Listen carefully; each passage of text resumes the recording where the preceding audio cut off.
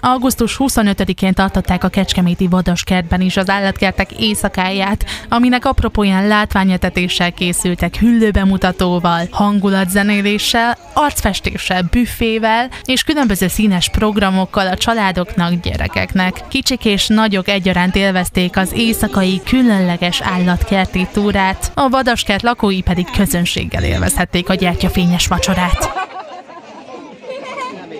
おはようございま。